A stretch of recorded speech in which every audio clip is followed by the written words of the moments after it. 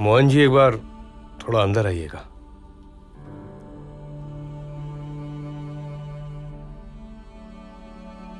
जी छोटे साहब।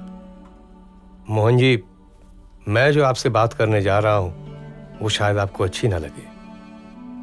आपको क्या शायद किसी को भी अच्छा ना लगे? पर मेरी मजबूरियाँ हैं। इस महामारी की वजह से आप तो जानते ही हैं कि स्मॉल स्केल इंडस्ट्रीज़ की हालत खराब है। बिज़नेस ठप हो चुका है। प्रोडक्शन थर्टी परसेंट पे है। अब पार्टी है जो पैसा देने का नाम नहीं ले रही। मुझे अगले महीने से फैक्ट्री बंद करनी पड़ेगी। हाँ? मैंने अकाउंटेंट को बोल दिया है। वो आप लोगों की इस मंथ की सैलरी तो दे देंगे। लेकिन अगले महीने से आप लोगों को काम पे आने की ज़रूरत नहीं है।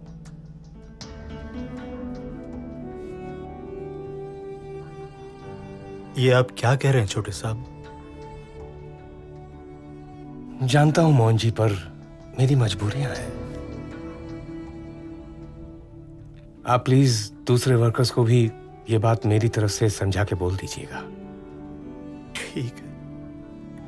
ठीक है, छोटे साहब।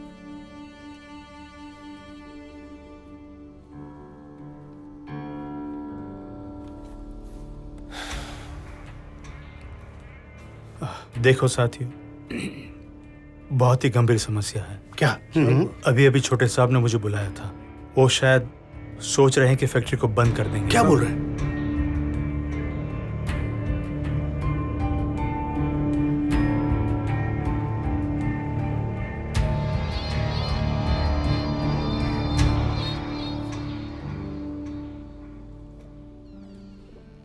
सर मैं कम इन आइए।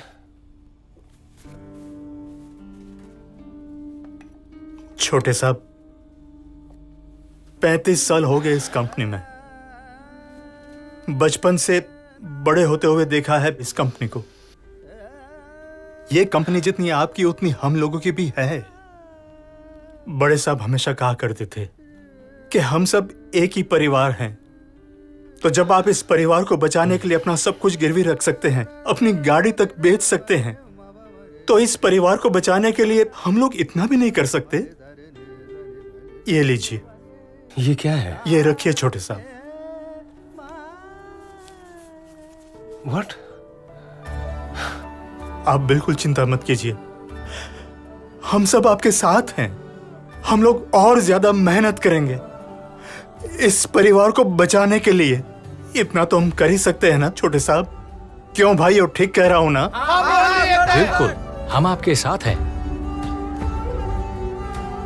आइए आइए।